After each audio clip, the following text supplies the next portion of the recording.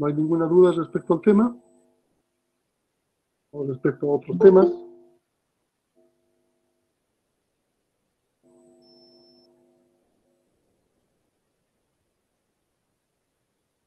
¿Todos entendido bien?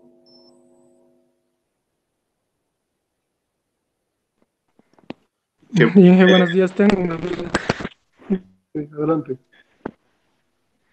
Del bidimensional, ¿cómo, ¿cómo detecta los errores? Esa parte no estuve entendiendo. Bueno, ayer he hecho la explicación, pero bueno, no, no tengo ahorita la tableta para poder hacer un ejercicio a pulso, pero se divide todos los datos en una matriz. ¿Se está viendo la matriz en este momento? Sí. Ok. Suponiendo que tengamos, que tengamos, como en este caso, 64 bits de datos. Entonces, todo lo que está encerrado en la matriz son 64 bits. Lo que se hace es utilizar m por n, en este caso sería 8 por 8, por ejemplo. Eh, claro que no es un método que no necesariamente va a poder manejar un, un número exacto entre filas y columnas. Si son 15, se puede utilizar 3 por 5, 5 por 3. Si son 11, tendríamos dificultades. Si son 9, serían 3 por 3, etcétera, etcétera, etcétera. Lo que hacemos es conformar una matriz. De esta matriz, que se van poniendo, en, les he indicado también en, en orden estricto los datos, estaríamos copiando todos los datos. Y lo que hacemos es sacar paridad en la, por, por columnas o por filas. Entonces, si tenemos, por ejemplo, paridad impar en esta primera fila, en esta primera fila, tenemos ¿cuántos unos? Uno, dos, tres, cuatro unos. Si fuese paridad impar, ¿qué número tendría que colocar aquí?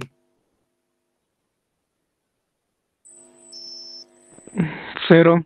No. Si es paridad impar y tengo cuatro unos, Uno. uno. Me falta uno para que sea impar. Esa es la idea. Segunda fila. Tengo uno, dos, tres, cuatro. ¿Qué valor necesito aquí? Uno. 1. Si tengo la cuarta fila, 1, 2, 3, 4, 5, 6, ¿qué valor necesito colocar aquí? Uno. 1. Entonces veamos, por ejemplo, creo que todos son pares para, para variar.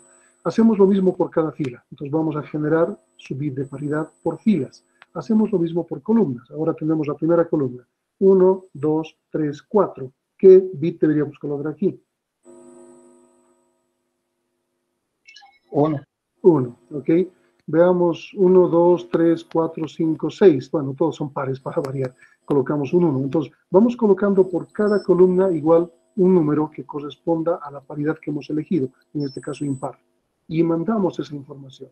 Una vez que el receptor recibe la información, vuelve a armar la matriz original que se había mandado y reserva a un lado tanto los bits de paridad en la columna o en la fila de tal manera que vuelve a hacer el ejercicio y cuenta 1, 2, 3, 4. ¿Cuántos bits necesito para que sea impar? 1. 1. 1 es igual a 1, sí, correcta la fila. Y va comparando fila por fila, columna por columna. Si alguna fila o alguna columna falla, se puede fácilmente cruzar. Si fuese una sola, un solo valor, entonces vamos a tener una fila y una columna. Vamos a tener un valor detectado y fácilmente corregible se puede convertir en un método corrector. Pero si tenemos dos fallas, pues podríamos tener dos filas y dos columnas diferentes. Aquí no podemos saber qué era qué, no podemos corregir, pero obviamente podemos detectar. Ya estamos verificando que existe una falla. Ya sabemos dónde, pero no sabemos qué valor colocar. Por lo tanto, no, se corrige, pero sí se detecta el error. Entonces, no importa cuántos errores introduzcamos, vamos a poder generar errores, porque estamos verificando por filas y por columnas. ¿Está claro?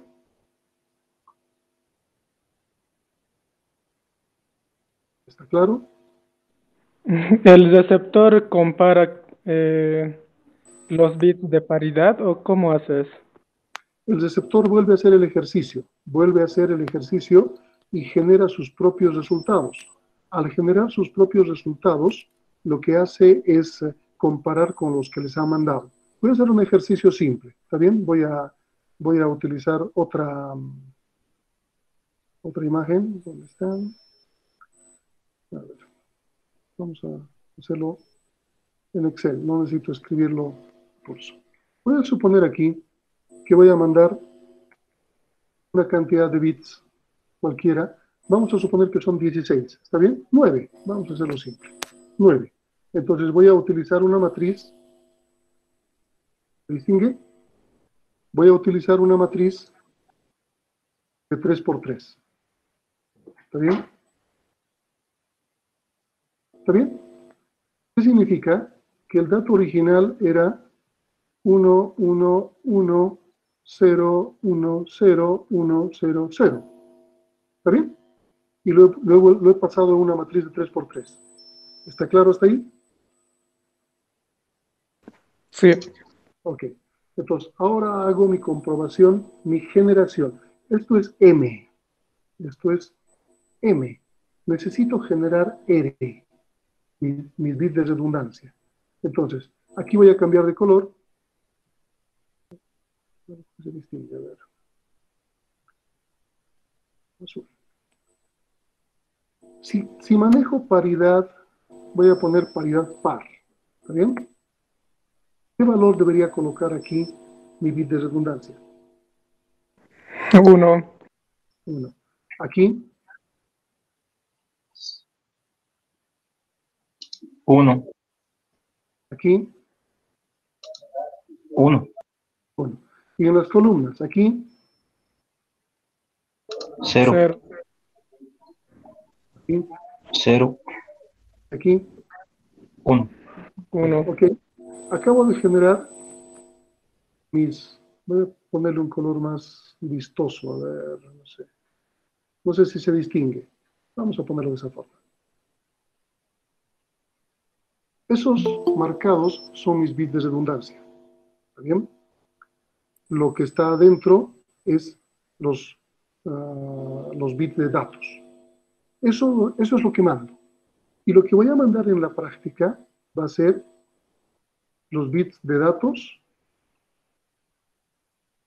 Añadido a esto, voy a mandar los bits de redundancia. En esa forma. Entonces, este va a ser el code word que yo mande. ¿Está claro hasta ahí? ¿Qué es lo que hace el receptor? El receptor recibe estos dos, el code word. Sabe cuáles son datos y sabe cuál es redundancia. ¿Y cómo sabe? Porque sabe cuántos datos son.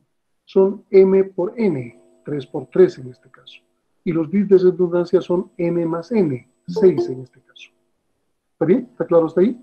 Entonces el receptor por su parte hace su propio ejercicio. Su propio ejercicio sería en volver a verificar si todo está bien.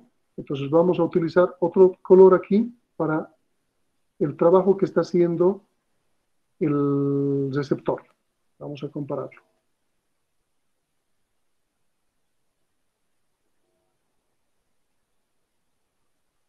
¿Está bien? Y le vamos a poner un color, no sé, que se pueda distinguir. Bueno, no importa. negro.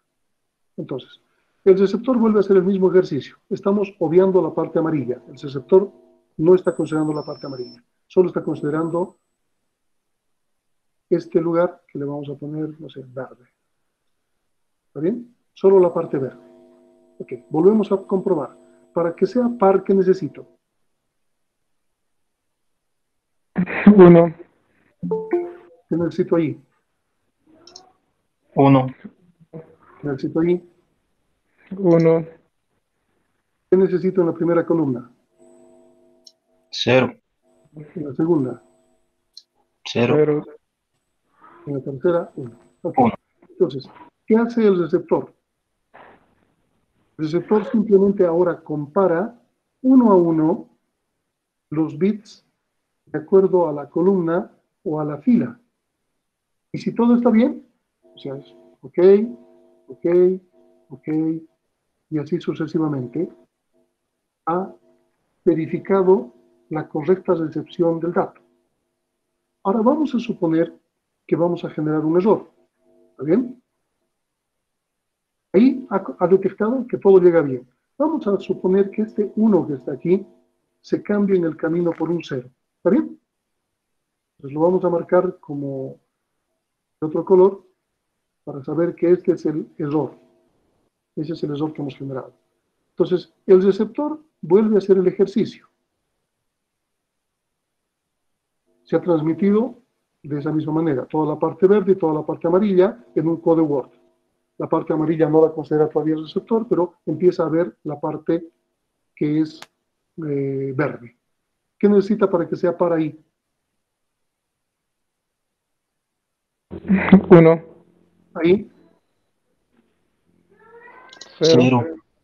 Ahí. Uno. Uno. Primera columna. Cero. Segunda columna. Uno. Uno. Tercera columna. Uno. Bueno, ahora claramente el receptor puede darse cuenta que ahí existe un error. Entonces, si simplemente arrastramos fila y columna, de su intersección podemos identificar cuál es la trama el, el y podemos corregirlo. Eso es cuando es un error. Es corregible. ¿Está claro? Es la forma de detec- detectar. Ahora vamos a hacer, vamos a suponer que generamos dos errores. ¿Está bien? Un 1 hemos cambiado por un 0, ahora un 0 cualquiera vamos a cambiar por un 1. Pues aquí tenemos dos errores que hemos generado. Se manda la información. Volvemos a recibir el dato. Otra vez, ¿qué valor necesitamos ahí para que sea par? 1. ¿Y? 0. 0. 0, 1, 0. Entonces, ahora podemos ver claramente que en estos dos hay error. Y también en estos otros dos. Si volvemos a cruzar las filas y las columnas, tenemos cuatro valores. Entonces ya no podríamos corregir porque no sabemos cuál sería el valor correcto de estos cuatro valores. No sabemos si los cuatro están mal, uno de los cuatro, dos de los cuatro, tres de los cuatro o los cuatro. Entonces, solamente estamos detectando el error. Entonces, es un método detector de errores. No se lo considera un método corrector de errores. ¿Está claro ahora? ¿Está claro? Sí. Sí, gracias. Ok. ¿Alguna consulta? ¿Otra duda?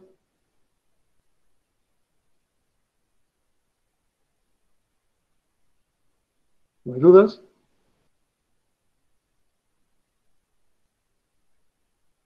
Estaba muy fácil, ¿no? Mm, ingeniero, perdón que lo interrumpa.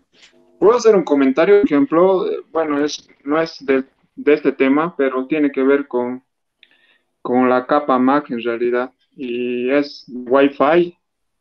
Y quería, por ejemplo, hacer un comentario, por ejemplo, de los niveles de seguridad que, eh, que tenía, por ejemplo, Wi-Fi, que decía que eran tres. Y bueno, me puse a curiosear y vi que el primero es el manejo de la contraseña a nivel WPA2 y la siguiente, captura de direcciones MAC y por último, digamos, eh, ocultar el dispositivo.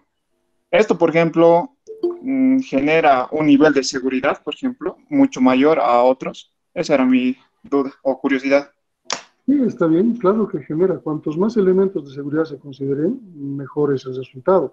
Si estás ocultando el SSID, es decir, que no se va a publicar el nombre, solamente los que saben pueden entrar, ya es un nivel de seguridad, porque no lo va a de- detectar fácilmente. Pero quien quiera entrar a tu, a tu access point o a tu red inalámbrica, no va a utilizar pues herramientas simples. No va a hacer, no, no, va, no va a intentar, por ejemplo, aquí tratar de ver qué access point están cerca. No va a hacer eso. Lo que va a hacer es utilizar algún tipo de herramienta que permita identificar todos los access points, como el, como el Wireshark, perdón, como el CISUS Wi-Fi, por ejemplo, y el CISUS Wi-Fi te va a mostrar SSIDs que están ocultos, aunque no estén publicados, te los va a mostrar. Claro que sirve. El otro es la contraseña, una contraseña que sea eh, mezcla de minúsculas, mayúsculas, mezcla de números, obviamente se hace más complicada. Si es WPA2, no es garantía de que sea eh, que no sea vulnerable. Hace un año, un poco más de un año, se ha abierto, se ha vulnerado el WPA2. Entonces se necesita un poco más de tiempo y un diccionario, si es en español, si es en inglés o algo así, un diccionario, y un poco más de tiempo para que herramientas como Backtrack de Linux o Kali de Linux, AirCrack se llama el, el programa, con AirCrack uno pueda romper fácilmente y conocer la contraseña. Puede que le tome un día, puede que le tome dos días, pero va a encontrar la contraseña. Ya es vulnerable. Y el otro que me decías era, ¿cuál era? Era el de la contraseña WPA2 o la contraseña, era el esconder, y el tercero era... El segundo era la captura por direcciones MAC, en realidad. Eh, Ah, agarrar ¿Cuál todas las es? direcciones que se van a conectar, digamos, con mi, Ok, me con parece mi interesante. access point. Sí, está bien. Eso también es interesante porque en el Access Point uno puede configurar de qué forma quiere que acceda a los clientes. Si es automático, cualquiera que se conecte y sepa la contraseña, se le va a asignar una dirección. Pero también se le puede decir, solo estos quiero que entren. Entonces se coloca una lista de las direcciones físicas en el Access Point. Entonces cualquiera que quiera entrar tiene que coincidir con la dirección física. Si no coincide, no le da dirección, no le da acceso. Es otra forma de seguridad. También es vulnerable. En Linux uno puede fácilmente cambiar la dirección MAC de su tarjeta y decirle, yo quiero que, tenga este número. Entonces estamos suplantando una dirección MAC y podemos acceder. Entonces, nada está cerrado. Obviamente, más, cuantos más elementos de seguridad coloquemos o, eh, no sé, podamos pensar, ah, mis vecinos no, no saben nada de, computación, entonces, si yo, si yo- le coloco los tres elementos, oculto mi SSID, hago que todos los que entren entren por dirección MAC y le pongo una contraseña, no sé, de 128 caracteres, entonces estoy seguro. Probablemente, muy, muy seguro, no. Pero seguro en un 70-80%, sí. Eso va a depender de quienes estén cerca y cuán eh, apetecible sea la información que uno maneja en su red. ¿Qué más? Y, se puede rastrear quién ha roto mi contraseña to- en el Wi-Fi, todo eso. En realidad no, no se puede rastrear quién es roto, pero sí se puede verificar quiénes están conectados. Eso sí, existen un montón de herramientas, eh, hasta apps de celular, que, que puedes determinar qué Macs están conectados. Tú identificas quiénes son los tuyos, o sea, tienes cuatro, entonces debería haber solamente cuatro, qué dirección es Mac, y vas a identificar quién es, pero no sabes dónde está, no sabes eh, alrededor de los 360 grados de donde está tu access point, de qué lado se han conectado. Lo máximo que puedes hacer es tratar de sacarlo. Y bueno, si, si ves vulnerado tu, acceso, entonces cambias de contraseña, tratas de protegerlo otra vez. Es lo máximo que se puede hacer. Pero no hay un lock, no hay un registro que diga eh, en este momento ha sido vulnerado. Tendrías que poner una especie de proxy server o un firewall para que controle los accesos permitidos y no permitidos. Y eso es por encima del access point. A nivel de access point, lo máximo que puedes es simplemente monitorear. ¿Qué más?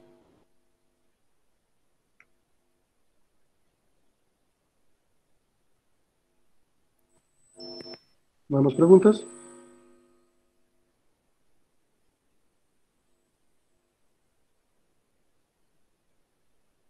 Entonces, si no hay más preguntas, voy a dejar de grabar para subir después esta grabación y continuaríamos el día de mañana, perdón, el día jueves.